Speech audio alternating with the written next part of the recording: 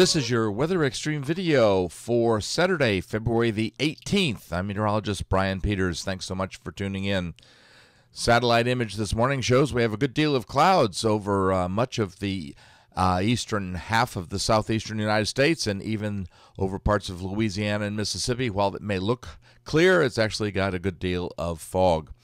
Surface map this morning features a large high pressure system that is actually out in the Atlantic off the southeast U.S. coast, but is bringing good southerly flow and moisture into the southeastern U.S.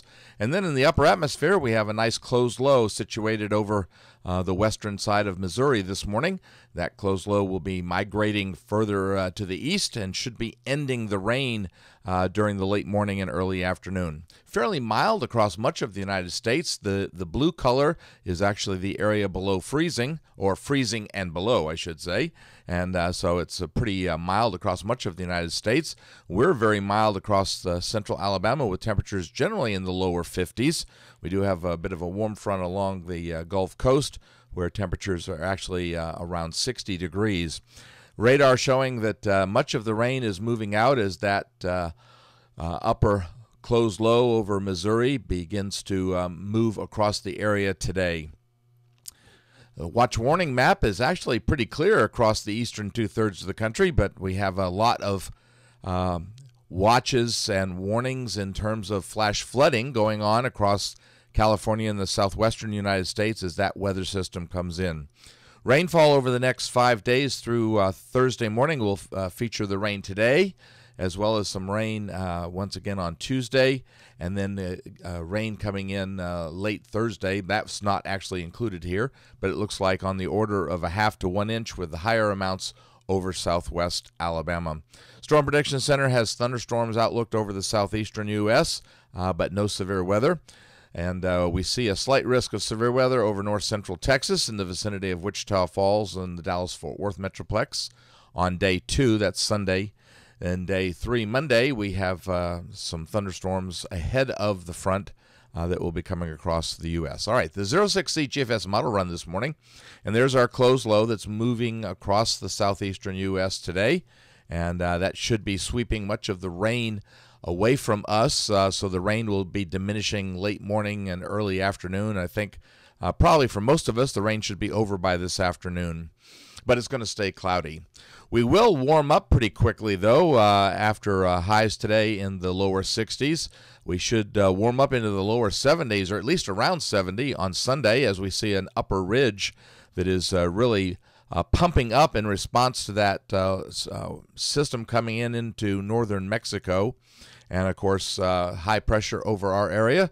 Uh, so that will keep our weather in great shape for Sunday. So great, a great Sunday for the latter part of February.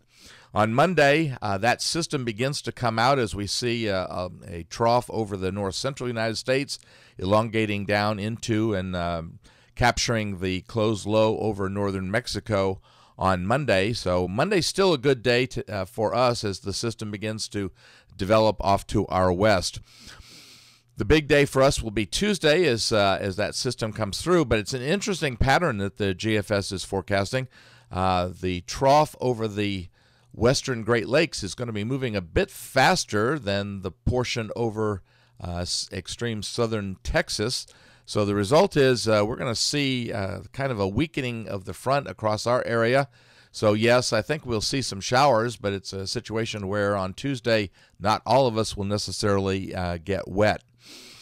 Both, uh, well, the, the main trough over the Great Lakes moves quickly uh, well uh, east on uh, Wednesday. In the meantime, uh, the, the closed low over the Gulf is kind of left behind a little bit, but that should actually dry things out for us as most of the rain will be down uh, well into the Gulf of Mexico. Great weather on Thursday as we have uh, an upper ridge over the area that stays good into Friday. But in Friday on Friday we see that uh, a nice trough is coming across the central uh, Mississippi River Valley, and that will be producing a surface low uh, just to the south of Chicago with a, a cold front trailing across the lower Mississippi River Valley.